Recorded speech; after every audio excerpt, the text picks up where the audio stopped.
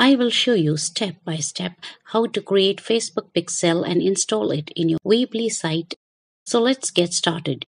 If this is your first time to my channel, please subscribe to my channel and click the bell icon to get video updates when new content is added. Even if you are a beginner, you can start using your Facebook Pixel to retarget your audience in increasing more sales.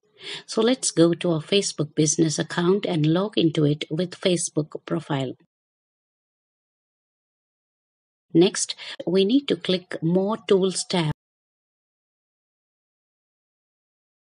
and again click this Manager tab.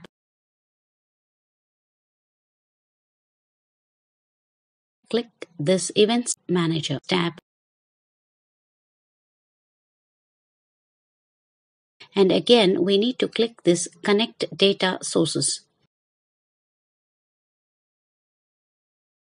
In this pop-up window, we can connect a new data source here.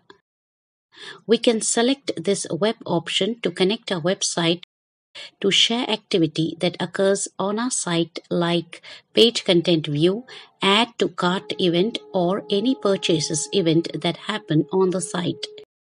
If we need to connect our app, we can select this option to share activity like app downloads, installs and purchases. We can select this web option here we need to select the Facebook Pixel section since we are creating Facebook Pixel. Next, in this page, we need to name the Facebook Pixel we are creating.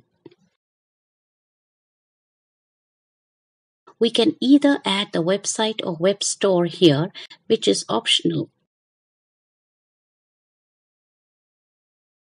And done, we have set up the Facebook pixel. Next step is to add this Facebook pixel code to our Weebly website or web store.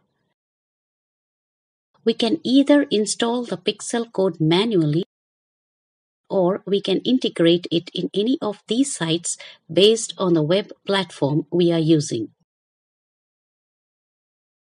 In the manual code method, we can install the code within the header section in your Weebly site or store.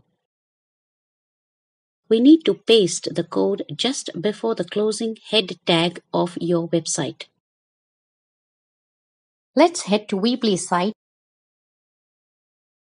We need to click this edit button link to add the pixel code into our Weebly site.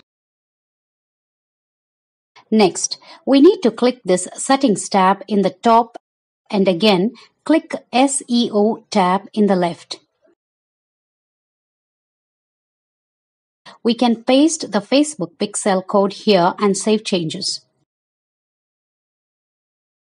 We can again publish this site and confirm the Facebook pixel code with this pixel helper which can be installed from Chrome you need to download this Pixel Helper Chrome extension, a useful tool. What that does is when you are in your website or web page where you have to install it, it will show Pixel has been installed properly and it is functioning.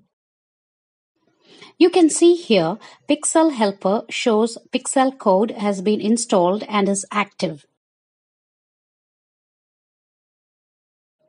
You can go back to your business Facebook site and track visitors data. With this, we have come to the end of this video. Please like, comment and share my video and do not forget to subscribe to my channel if you find the video helpful. Thank you.